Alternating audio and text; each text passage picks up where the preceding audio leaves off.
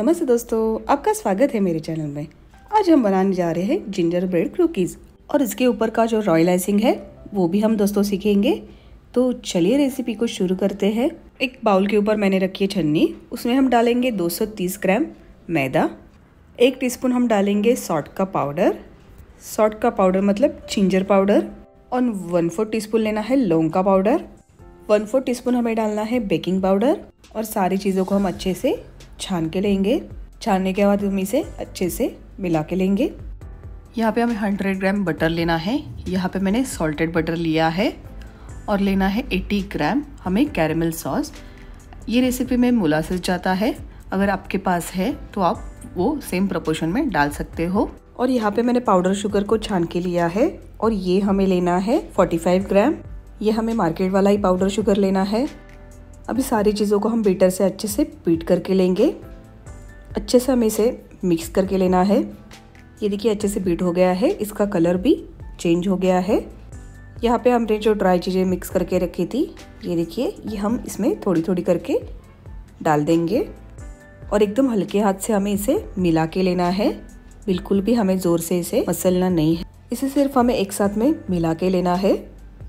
बिल्कुल भी इसे हमें आटे जैसे गून के नहीं लेना है और इसमें हमें एक्स्ट्रा दूध डालने का भी ज़रूरत नहीं है। यहाँ पे आप देख सकते हो, ये अच्छे से डो बन गया है। मैंने यहाँ पे किधर भी दूध का इस्तेमाल नहीं किया है। ये देखिए, ये अच्छे से परफेक्ट बना है। यहाँ पर हम लेंगे पाँच मिनट पेपर या बटर पेपर कुकी का जो हमने आटा बना के लिया है, ये हमने इस पर रख दिया है। इसके ऊपर हम रखेंगे ऐसे पेपर और इसे हम अच्छे से बेल के लेंगे। हमें ज़्यादा पतला भी नहीं बेलना है और ज़्यादा मोटा भी नहीं। मैं आपको दिखाऊँगी आगे कि आप में कितना बेल के लेना है। यहाँ पे आप देख सकते हो अच्छे से बेल के हो गया है। ये देखिए। अभी इसे हम फ्रिज में रखेंगे पंद्रह मिनट के लिए। इसे बंद करके इसे हमें पंद्रह मिनट बाद फ्रिज से मैंने निकाला है। इसे आप अभी हम खोलेंगे और मार्केट में ऐसे कुकी कटर आते हैं क्रिसमस के तो आप वो यूज़ कर सकते हो। जो आपको शेप पसंद है, वो आप ले सकते हो। साइड साइड से जो कुकी का बैटर है, वो हम निकाल के लेंगे। और इसे हम हल्के हाथ से ऐसे निकाल के लेंगे। ये देखिए, इसका आप थिकनेस देख सकते हो। अभी फिर से हम इसे 10 मिनट के लिए फ्रिज में रखेंगे। यहाँ पे मैंने बेकिंग ट्रे लिया है और उसके ऊपर मैंने बटर पेपर रखा है। और उसके ऊपर हम ये कुकीज़ रखेंगे। इसे हमें बेक करना है 170 डिग्री पे both coil on toast mode पे 15 मिनट के लिए और ओ को आप पहले प्री हीट करना ना भूलिएगा दोस्तों। और इसे हमें ऐसे दूर दूर ही प्लेस करना है क्योंकि बटर है। बटर के वजह से ये फूल जाती है तो इसके लिए हम ऐसे दूर दूर ही रखेंगे। यहाँ पे आप देख सकते हो दोस्तों कुकीज़ हमारी अच्छे से बेक हो गई है। हम जब कुकीज़ ओवन में से निकालते हैं तो वो थोड़ी नरम रहती है, पर वो जैसे ठंडी हो जाती है, तब क्रंची हो जाती है। अब इसका हम रॉयल आइसिंग देखते हैं। यहाँ पे मैंने हाफ़ कप लिया है आइसिंग शुगर और इसको मैंने अच्छे से छान के लिया है। अभी इसमें हम डालेंगे दो टेबलस्पून दूध।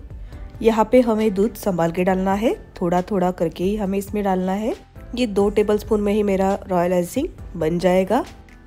यहाँ पे आप देख सकते हो, ये अच्छे से बन गया है। इसका एक ऐसे रिबिन जैसे आ रहा है। देखिए नीचे, ये इतना ही हमें पतला रखना है। अभी इसमें से थोड़ा सा मिक्सचर हम दूसरे कटोरी में निकाल के लेंगे और इसमें हम डालेंगे ग्रीन कलर यहाँ पे मैं जेल कलर यूज़ कर रही हूँ। आप कोई भी कलर यूज़ कर सकते हो। इसे हम अच्छे से मिला के लेंगे।